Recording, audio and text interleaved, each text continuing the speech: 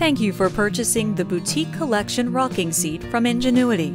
This video will guide you in assembling your Boutique Collection rocking seat. This video is intended to be an aid and does not replace your instruction manual. Please refer to your instruction manual for important warnings and kids2.com for additional information, including warranty. Further use of this video indicates that you have read and reviewed the important warnings and other information included in your original instruction manual. If you have additional questions, please contact our helpful Consumer Services Department at 1 800 230 8190. While assembling your boutique collection rocking seat, you will need a Phillips head screwdriver and three C-size batteries. Please be sure to remove all zip ties, cardboard, plastic, and foam packaging before you begin assembly. Locate all of the required parts for this product and match them against the diagram in your instruction manual. Installing the batteries. The first step in assembling your boutique collection rocking seat is to install the batteries. Locate part number 4, seat bottom rest, and remove the battery compartment door on the back of the control module with a Phillips head screwdriver. Add three C-sized batteries as indicated. Switch the power to on to make sure the batteries are working and installed correctly. Turn the power to off and replace the battery compartment door and screw back into place before use.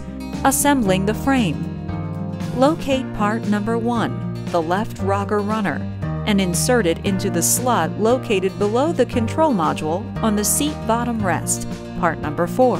Now locate part number 2, the right rocker runner, and insert it into the other side of the slot. Be sure the right rocker runner is inserted completely and attaches to the left rocker runner. You will hear it click into place when the locking pin is fully engaged. Please check that both rocker runners are securely attached within the slot. Next, locate part number 3, the rocker rear, and attach the ends of the U-shape to the ends of the rocker runners. You will hear an audible click when the locking pins are fully engaged. Please check for a secure connection. Installing the seat pad. Locate part number 6, the seat pad, and carefully guide the tubes of the seat bottom rest into the sleeves located on the back of the seat pad until the tubes go completely through. Next, fold the top of the seat pad down to expose the tubes and install part number 5, the seat back rest, to the exposed tubes. You will hear an audible click when the locking pins are securely installed. Pull the seat pad over the seat frame. The opening at the top of the seat pad will fit over plastic latch at the top of the seat back rest. Now pull the seat pad over the seat bottom rest. The control panel should be exposed through the opening at the bottom. Next, buckle all the straps on the back of the seat pad. Here's a tip. The two bottom straps will create an X over the battery compartment door when installed correctly.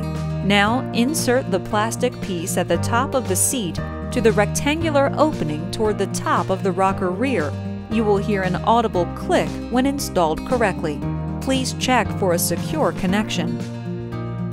Next, locate part number 9, the toy bar, and place it into the circular opening at the top of the rocker rear. Your rocking seat is now fully assembled. Adjusting the kickstand. To use the kickstand for a stationary position, carefully unsnap the U-shaped foot on the bottom rear of the rocking seat until it is standing upright. To use in rocking position, simply push the U-shaped foot on the bottom rear of the rocking seat until it connects to the bottom of the rocker rear. You will hear it snap into place when it's properly connected using the recline function. To recline the rocker, simply press on the button located on the back of the seat and move up or down. The rocking seat has three recline levels. Storage and travel. First, remove the toy bar. Then press the small trigger button on the inside of the rocker rear. This will release the seat from the rocker rear. Gently place the rocker rear down toward the center of the product and then place the seat down over the rocker rear. Your rocking seat should now be laying flat.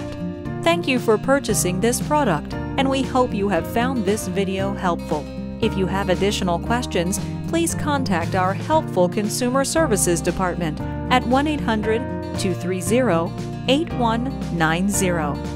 Please remember that we are constantly improving our products, so certain features or fashions shown in this video may differ slightly than the product currently available.